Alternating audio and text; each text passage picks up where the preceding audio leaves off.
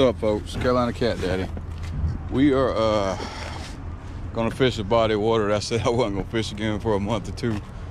We're Lake Wylie We uh, we've been fishing non-stop. We uh, see how this worked out. Friday night, me and uh, Tyler went and fished the river tournament, and we didn't do too well. The bite was way off. It's Trey Smith's tournament. He won the tournament. We caught fish, but it just wasn't enough. So the next day, took Jesse O'Neill out. I've, I've, been fishing so much I can't remember what I've been doing. Took Jesse O'Neill out. If you don't know Jesse O'Neill, look him up. Bad, bad butt kayaker around here. He'll be wearing them out on the kayak. He runs all them kayak tournaments. Took him out on Wateree. Me and him both knew we was gonna get our butts kicked on Wateree, and we did. I didn't even turn the camera on. We caught a couple little fish. Mainly, we sat there and talked, and you know, First time we're meeting each other. We got the same tattoos on our hand. He's a cool dude. I really like him. We'll, we'll, we'll put together a video on a better trip. So I had bought a bunch of herring for that night and I did something I ain't never done before in my entire life. Junior War Scout, which is becoming one of my good fishing buddies, he needed bait for to take one of his sponsors out. And I gave him all my live bait. Gave him the tank and everything, y'all. Let him take my tank. Junior you better know I love you, Bo. Good friends don't let uh, friends fish without bait. So let him take the herring. I went home, went to sleep, and got up the next day to fish Fishing Creek. And uh, couldn't catch no, couldn't get the, the herring man wasn't, uh, I guess he don't sell bait on Sunday. He wouldn't answer the phone. So I went out there with no bait and luckily caught a bunch of perch. Fished that night, caught a couple little flats. Went to sleep on the boat for a couple hours, and then went didn't even make it home went to the shop unloaded my boat and went and hit the river with chris george. We actually old slapper captain slap. We had a good time. I caught a rare black gar. I don't know how rare they are but i've never seen them in my entire life. And uh, i got in the river that section of the river that i've been wanting to get in my whole entire life. So i don't know what all we got some video from that day. You'll probably see that video before you see this one or it might be in with this video. I might put it in right now as I'm doing this intro. But uh, didn't catch a lot of fish, but we had a great time. You know, I love just being on the water. You know, we stopped, was catching bait. Well, um, I got four or five of those perch left, a really big perch. So I asked Junior if he needed some bait. I asked a couple of my homeboys if they needed some bait. They didn't need it. So uh, I already knew it was gonna happen. I knew I was gonna go fish again. So Jeff Manning tournament was coming up this coming Saturday. So I had come out here and scouted some really good fish. I didn't fish them. I fished the tail end of them and caught one 17, but I mean, I marked some really big fish. So the Jeff Manning tournament got canceled. He couldn't get a dang permit, which is outrageous. Like, I, I don't get that. Not on his part, on DNR's part. I don't see why someone couldn't get a daggone permit. And he tried to get it about three months ago. I, I just don't understand that. But it wasn't meant to be. So maybe it was meant for me to come fish these fish today, and that's what we're gonna do. We're gonna go give them a try. I got them four or five perch. I might stop. There's a spot around here. I think some perch are held up. I might go see if they're there. I might spend a little bit of time trying to catch some more. I'm not gonna spend a whole lot of time. We're mainly gonna uh, focus on these fish and see if they're even there. This was two weeks ago, so they might not even be here anymore. So we'll see. Y'all stay tuned. Let's see what happens. I, I swear, I'm starting to hate this lake. I really am. Like I'm about sick and tired of it. I told myself I would not come back out here till it got cold. And what the heck am I doing, man? Just, I'm this close to packing up and going somewhere else, and it's very well may happen.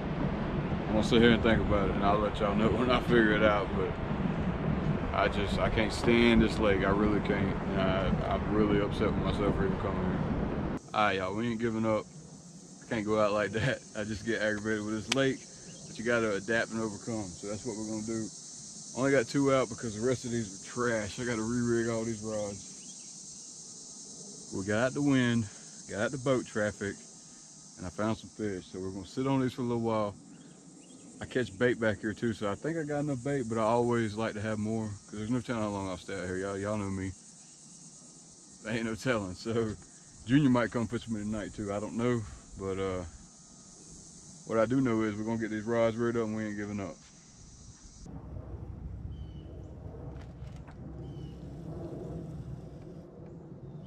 Had one running sideways.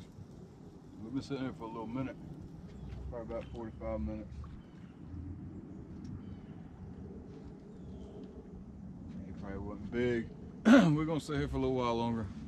It's nice and calm back here. That's freaking windy as crap out there on the main lake. oh, these are some good hooks. This hook's done stuck me twice. Hey. We're gonna stay here for a little while longer and then decide what we're gonna do. We got a perch rod out, but I ain't had nothing hit it. I've seen some bait popping, so we might throw the net in here after we decide to move. Unless we start catching some fish, I don't know. There is some fish here though, so we're gonna see.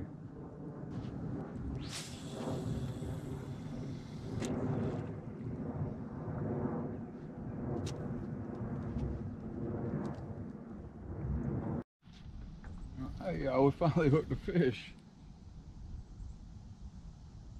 It ain't no big boy, but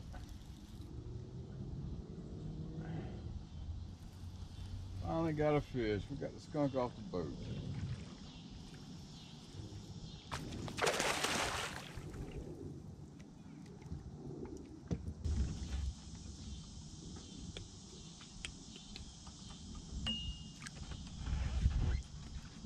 There he is. Skunk's off the boat. I don't know how much longer we're gonna sit here. Kind of wanting it to really calm down out there on the lake and I want to go out there and look for some fish. But we'll sit here a little while longer and see what happens. All right, y'all, we caught a little bit of fresh bait and uh, coming and marked the area I fished before and caught some decent fish. I marked a really big flathead on side imaging. Went back around. I'm trying to learn how to use my side imaging. And on my side imaging, when I mark a big fish, seems like there's a little black shadow right under, under their head, especially a flathead. And so I cruised back over. I marked off the footage of how far over I'd marked him on the side images. I cruised back over and I got a good sonar reading of him in the mud. He's a big fish. He's a really big fish. So uh, we're, we're gonna sit here probably a while. He's buried in the mud right now. There's a lot of, there's a fish over right there.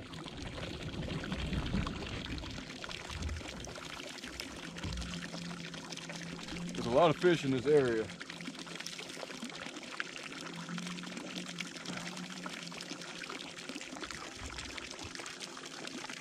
I don't think this is no monster, but uh, a lot of fish in this area, so we're gonna uh, we're gonna sit here and fish, and we're gonna wait for that big boy to come out. I feel like it's. Uh, I was trying to look and see what time it was.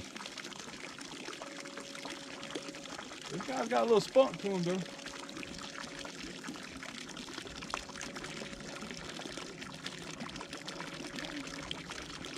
Not a bad blue. Not a bad blue. It's an edible fish.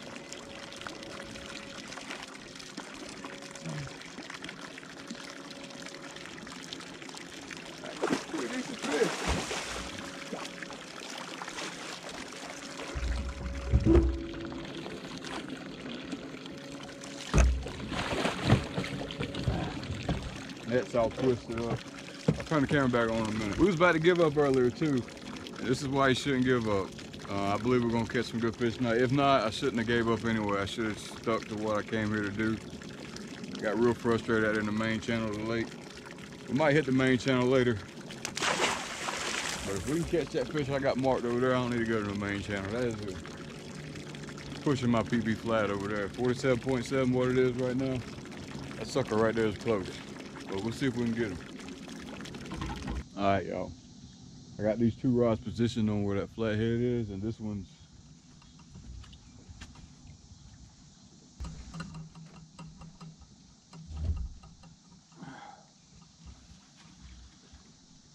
This definitely ain't him, but uh, it's a fish.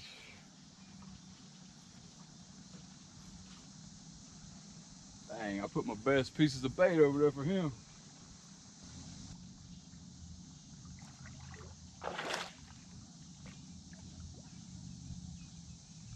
Another blue.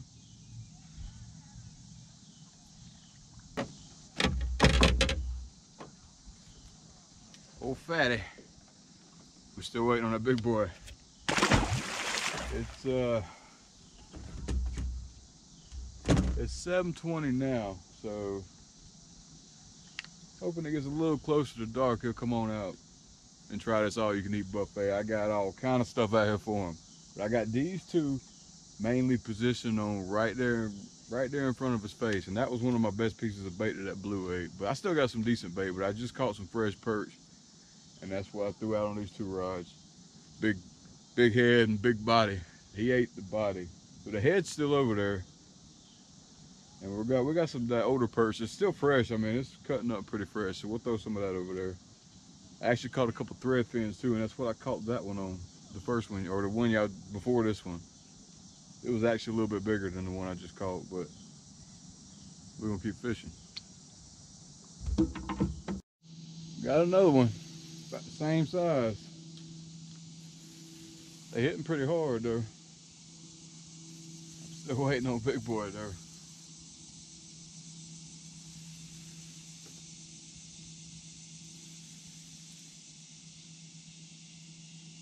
He's actually smaller.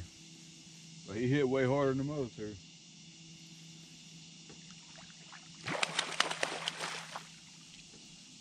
Oh, we've sat here for a while. This ain't no big boy though. He's a little better fish than what we've been catching though.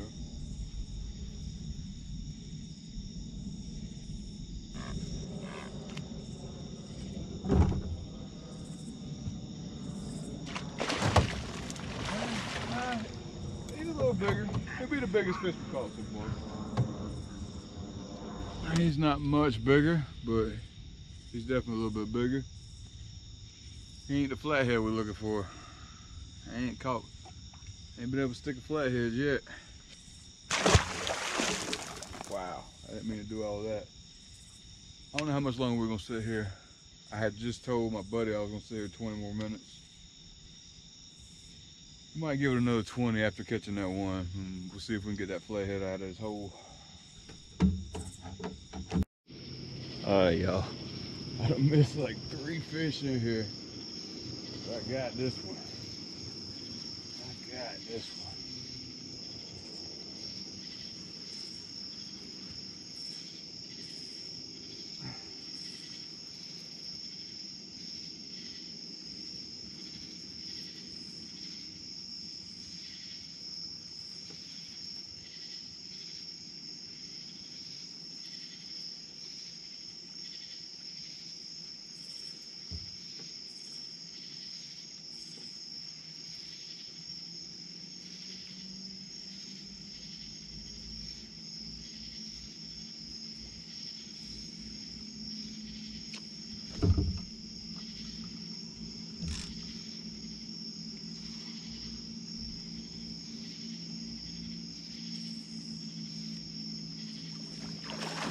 That's a nice blue.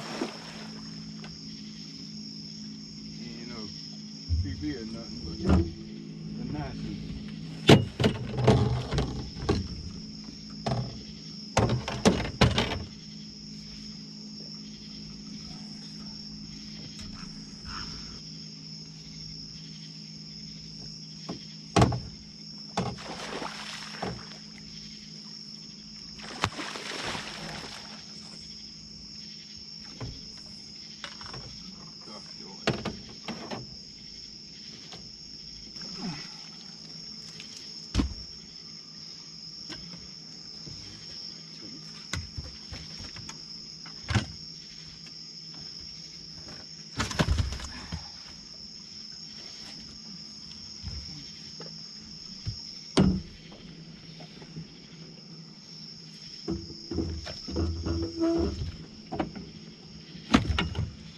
Come on now. Come on now.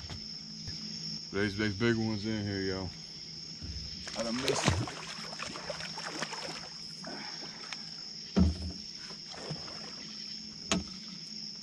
The fish I missed, I missed him twice on the same rod. I got this drag pretty tight. He just peeling drag, and I picked it up, and the bait had turned around the hook. So I threw it right back and uh, missed him again. So now I done turn all the clickers on. So all these got clickers on, except that one. The clickers broke on that one, but We're gonna keep fishing. All right, y'all. It's definitely a flathead. He's got me three times. This time on the clicker, he did the flathead does zit, zit, zit. I let him go with about 10, 15 seconds too. As soon as he feels pressure, he's letting it go. It's a smart, big fish. Probably gonna sleep on the boat and try and catch his, catch him. All right, we got another one. Still a little guy.